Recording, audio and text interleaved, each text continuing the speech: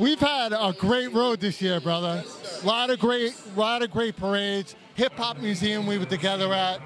Now Times Square, and it stopped raining. So I think we're blessed right now to be interviewing. So how are you feeling right now about the turnout? We're back in New York City.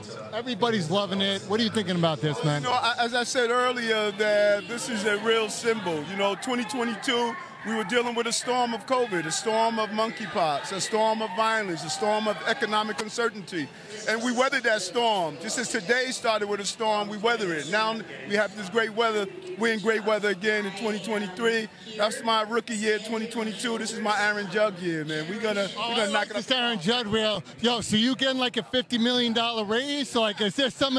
Uh, am I getting taxes coming out of my pocket? What's going on here, man? Just going continue to drive down crime, increase our economy. Tourism is a major economic boost for our city, and it's about New Yorkers not seeing themselves and being defined by the crisis, but moving through the crisis. That's what we do as New Yorkers, and I'm excited about 2023. I'm excited too, and I appreciate all your security here. We're having a great time tonight, guys. Thank you. Happy New Year, Merrick New York Adams. Thank you, guys. Appreciate you.